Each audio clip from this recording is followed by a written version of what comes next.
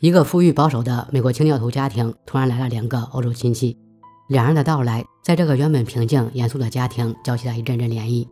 文化的冲突，爱情的纠缠，让每个人都将面对艰难的抉择。大家好，欢迎来到二林博写油馆，今天就为大家分享这部亨利·詹姆斯作品改编电影《欧洲人》。电影故事发生在19世纪波士顿一处景色宜人的乡下庄园。电影的女主鲁德出生在一个清教徒家庭，父亲温特先生是个儒雅的绅士。也是个虔诚保守的清教徒。鲁德不同于其他兄弟姐妹，他向往自然，酷爱文学艺术。他对宗教无感。当家人都去教堂时，他留下来阅读莎士比亚。当时邻居布兰德先生对鲁德情有独钟，但鲁德总是拒人千里。布兰德是个虔诚的教士，正直保守，温文尔雅，道德无瑕。当时温特老爷子特意让布兰德在道德上指导他的三个孩子，而且布兰德也是老爷子中意的女婿人选。也许正因为这点，鲁德就是对他没有感觉，就像他和保守的父亲不太契合一样。后来有天，一个名叫菲利克斯的堂兄大老远从欧洲赶来探亲。菲利克斯的母亲和鲁德父亲是同父异母的姐弟，他的母亲原本也是个美国人，后来他不顾家人反对，嫁给了一个欧洲贵族，并在欧洲定居。菲利克斯还有个姐姐尤金尼亚，眼下也在波士顿。尤金尼亚嫁给了一个欧洲小国的王子，当上了男爵夫人。但是尤金尼亚的婚姻并不幸福，王子的家人并不喜欢这个落魄贵族的女儿，早就想逼她离婚。鲁德素来就对欧洲的文化艺术充满了兴趣，菲利克斯说的这些王子贵妇的故事，越发让他兴味盎然。在鲁德的盛情邀请下，菲利克斯便将姐姐尤金尼亚接了过来。温特老爷子带着大女儿夏洛特和小女儿鲁德亲自出门迎接。尤金尼亚一进门就不由得感叹：“这座房子真是漂亮。”温特老爷子骄傲地说。当年华盛顿还在这里住过一阵子。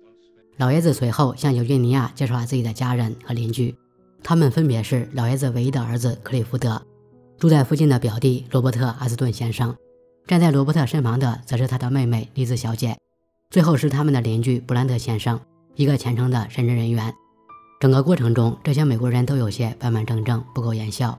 这样压抑的氛围，不免让尤金尼亚感觉他们好像不受欢迎。尤金尼亚吞吞吐吐地说：“他们此来只是为了联络亲情。”但温特老爷子有点怀疑，他们姐弟到此的目的，与其说是探望，不如说是前来投奔。不过他们俩毕竟是亲戚，老爷子还是决定给他们安排一栋房子，让他们住上三四个月。不料这个决定让鲁德非常激动，他头一次这么赞同父亲。父亲赶紧让他冷静一下，对方人品尚未可知，一切都要小心为好。但是，一想到可以在法国人的客厅用餐，鲁德就难掩兴奋之情。后来有天，罗伯特带着尤金尼亚到野外游玩，当时正值秋天，道路旁的黄叶红叶交相辉映，格外绚丽多彩。两人随后来到了一处景色宜人的湖边。这时，尤金尼亚突然说：“一个欧洲人出现在这里，显得有些奇怪，人们或许会怀疑他的目的。”罗伯特听后回应说：“他一点也不感到奇怪。”尤金尼亚的端庄美丽。恰好和这里的美景相得益彰。罗伯特的热情让遭遇婚姻不幸、屡遭婆家冷眼的尤金尼亚倍感欣慰。与此同时，鲁德最近也总是和菲利克斯腻在一起。菲利克斯性情放浪，在绘画上很有才华，当然也有些玩世不恭。但这样的性情恰好对生活压抑、渴望新奇的鲁德很有吸引力。只是温特老爷子最讨厌这种油嘴滑舌、不务正业的欧洲浪子。而在菲利克斯眼中，老爷子像主教一样威严，缺乏生活乐趣。两人的性格观念可谓是水火不容，都不认同对方的生活方式。好在鲁德和其他家人截然相反，他很认同菲利克斯的生活哲学：生活理应有更多的乐趣，不应循规蹈矩，被条条框框压抑性情。自从结识菲利克斯以后，鲁德感觉自己和布兰德更不合适，布兰德也能感觉到他的变化。他以为自己的真情可以感动鲁德，但当布兰德想送他回家时，鲁德只说他不想回去。这句话一语双关。他既不想回家，也不想再回到从前的自己。他知道前路坎坷，也会得罪父亲，但他需要这场痛苦的蜕变。随后不久，老爷子的表弟罗伯特在家举办了一场舞会。对于经常参加贵族甚至王室舞会的尤金尼亚来说，这里的气氛就像农场工人的聚会一样，欢乐有余，但缺乏情调。罗伯特的妹妹丽兹小姐也看得出来，尤金尼亚骨子里有一种欧洲人的傲慢，看不起简陋的美国人。但有一点，丽兹也向母亲强调说，尤金尼亚倒是很喜欢哥哥，但是哥哥罗伯特在尤金尼亚面前总是欲言又止，好像有些顾虑。这自然让尤金尼亚感觉罗伯特对她缺乏诚意，爱得不深。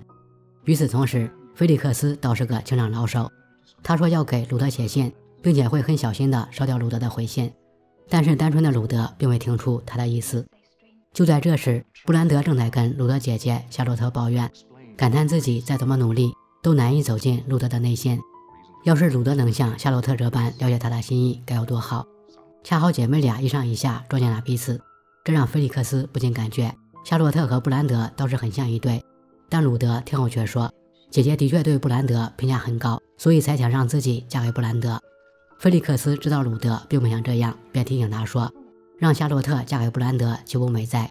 老爷子也会欣然同意。”这下鲁德也突然如梦初醒，自己竟然从未想到他们俩非常合适。就在今天的舞会上，温特的儿子克里福德和几个朋友也对尤耶尼亚颇为着迷。菲利克斯倒是觉得克里福德早已长大，是应该多了解下女人。这让温特老爷子非常无语，心想：你们欧洲人自己糜烂就行，可别带坏了单纯的美国青年。虽然老爷子这样说，但菲利克斯依旧认为，克里福德作为将来的主人，理应提高下对女人的鉴赏能力。这点尤杰尼亚都可以帮忙。于是他就让姐姐和克里福德多多见面，好好开导一下这个青年。后来有天，布兰德又在给三个孩子朗读圣经，但此时此刻，鲁德心里只有浪漫爱情，对这些东西听都没听。而克里夫德也是心不在焉，满脑子都是风情万种的尤杰尼亚。只有夏洛特一个人，每次都会认真听布兰德的朗读。其实夏洛特很喜欢布兰德，但有件事比他的感情更为重要，那就是让布兰德教导好妹妹，将她变成一个虔诚的清教徒。就因为这件事，这对姐妹也没少吵架。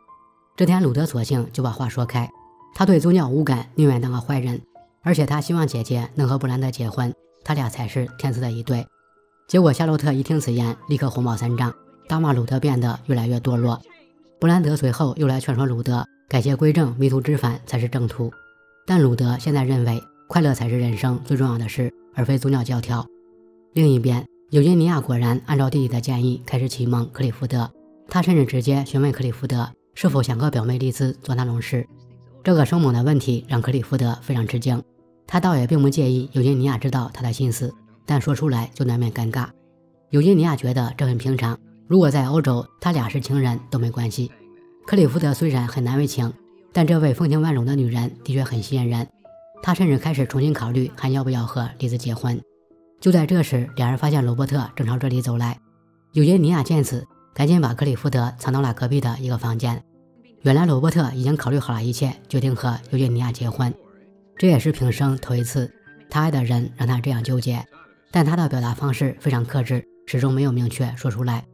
他的这种态度自然让尤杰尼亚也无法下定决心，所以她始终没有表明自己要不要接受婆家的津贴，然后立刻和丈夫离婚。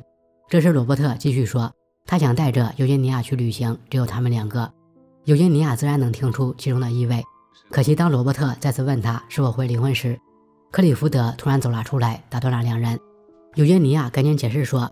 克里福德只是在隔壁欣赏菲利克斯的画作，但克里福德并不买账，而且还有些生气，当面就否认了这点。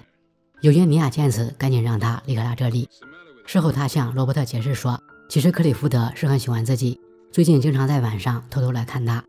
对尤金尼亚来说，这倒不算什么，但罗伯特却很在意，这让他更加左右为难。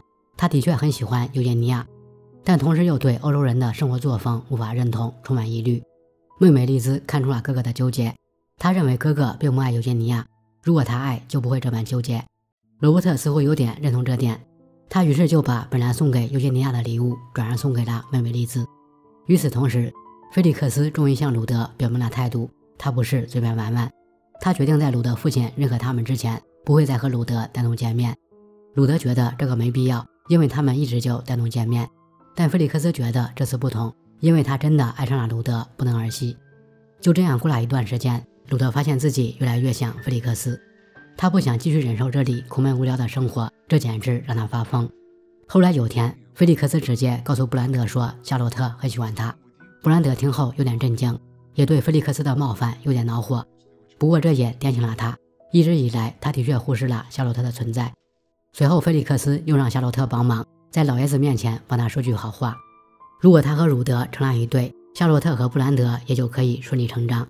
本来夏洛特并不同意，他还想说和妹妹和布兰德。结果当他准备和父亲商量时，菲利克斯突然出现，毁了他的计划。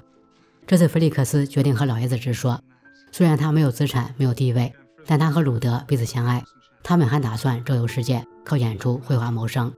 他现在唯一确定的是，他们热爱生活，一定会活得多姿多彩。正在这时，鲁德走了进来。他这次也打算向父亲彻底坦白。虽然父亲一直对他缺乏信心，但他现在对自己的选择无比自信。这时，布兰德也赶了过来。让老爷子惊讶的是，布兰德竟然劝他接受鲁德的选择，而且布兰德还向夏洛特求婚。夏洛特听后喜极而泣，他也开始劝父亲成全菲利克斯和鲁德。老爷子这下无话可说，最后还是同意了此事。就在这时，尤耶尼亚早已决定返回欧洲。罗伯特母亲本想留住尤耶尼亚，他知道儿子很喜欢他，但尤耶尼亚去意已决，即便割舍过去，他终究也不属于这里。罗伯特得知后，感觉很突然，他也想劝尤耶尼亚留下来，特别是尤耶尼亚说他已经发出那封信，决定离婚时，他对尤金尼亚的疑虑随即烟消云散。但是当尤金尼亚反问他，给他一个留下来的充足理由时，罗伯特依旧没有说出那句话，只说他们彼此欣赏。尤金尼亚听后非常失望，他说在欧洲他们也会彼此欣赏。回到住所后，尤金尼亚用自己的服饰好生打扮了鲁德一番。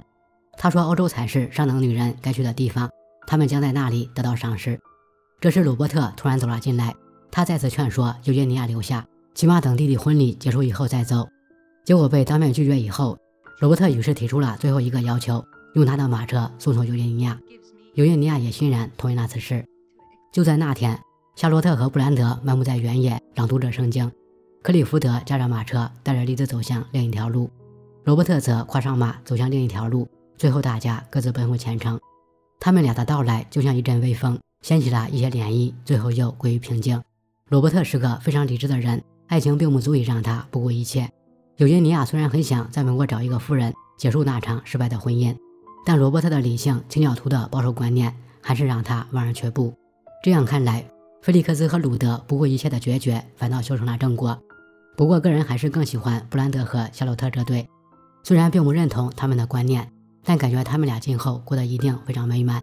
毕竟志趣相投、灵魂相近、三观契合的人实在难得。好了，本期的故事就到这里。喜欢的记得点赞关注，咱们下期再见。